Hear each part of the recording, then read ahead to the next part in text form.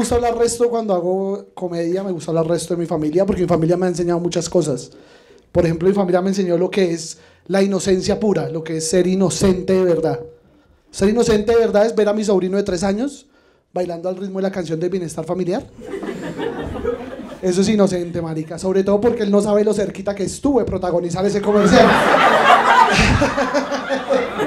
a esto estuvo. El día que le contemos hasta ahí le va a llegar la bailadita al huevón ese. Porque es que lo pillé embalado, marica, lo pillé. Yo quiero que a mí me quiera. Yo decía, marica, si ese niño supiera lo que significa ese comercial, no estaría bailando. Porque ese comercial es muy triste, weón. Lleva 20 años en lo mismo. 20 años el mismo comercial.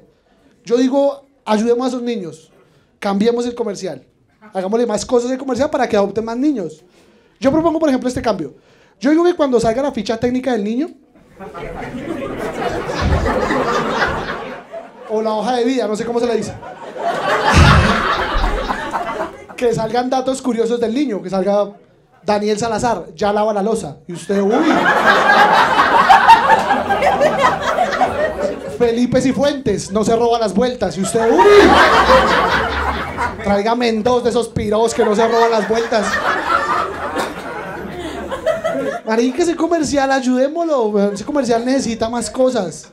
Ayudemos a ese comercial. Yo propongo que el primer niño que salga sea el más pinta de todos. El más bonito. Para que usted se quede enganchado. Diga, uy, actualizaron el inventario. Tan, yo, voy, yo voy a pillar. En la mitad pone usted los magulladitos. Pone los Brian, los Jefferson, los próximos egresados del Sena. Toda mierda que no. Todo eso que no va a un culo. Y al final cierra fuerte. Cierra con un niño de espaldas. Para que el público quede intrigado, marica. Diga, ¿qué?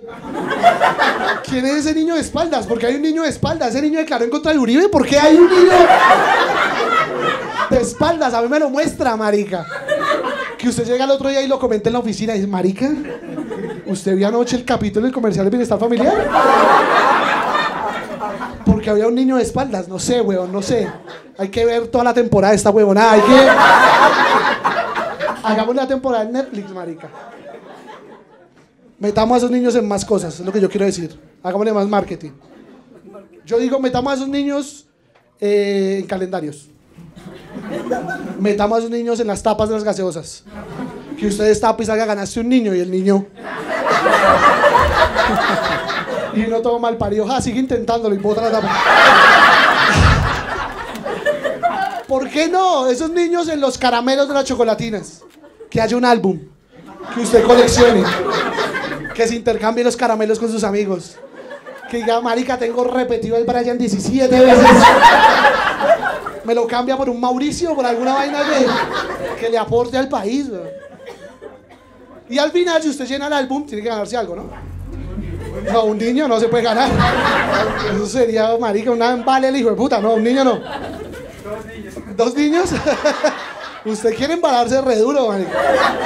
Dos niños no. Al final, si usted llena el álbum, se gana un paseo guiado por las instalaciones de bienestar familiar. Para que por fin sepa quién es ese puto niño de espaldas, weón, y pueda contárselo a todo el mundo. Es que soy re fan del bienestar familiar, soy muy fan. Yo soy fan de ciertas cosas. Soy fan, por ejemplo, de la post-day. Re fan. Fanático. Compro por docena, hijo de puta. Y me di cuenta que la post-day es lo más cercano que tenemos en la vida real al control Z. A lo bien.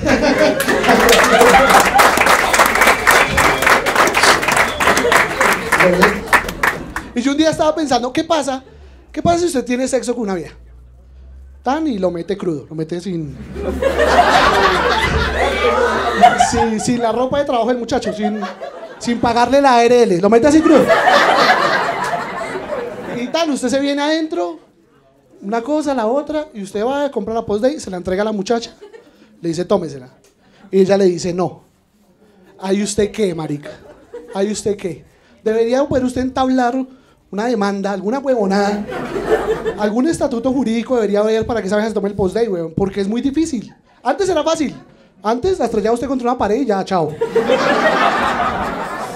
Pero después de que salieron estas leyes de protección animal, paila. ya no se puede, marica, ya no dejan. Soy re fan, soy re fan de ciertas cosas. Soy fan, por ejemplo, del frutiño. Soy re fan del frutiño. Fanático a morir. Y en mi época, el frutiño apenas no era tóxico. ¿Usted lo destapaba y salió un humito? Que lo hacía usted estornudar, toser y cagarse. Si estaba. si estaba lejos de la casa, paila, la cagara fija. Pero hoy en día trae vitaminas y minerales y un poco de huevonas. Vea, yo soy tan fan del frutiño que quiero montar un cosechas de frutiño. A Luca el vaso, fácil. Y mis amigos me dicen que es mala idea.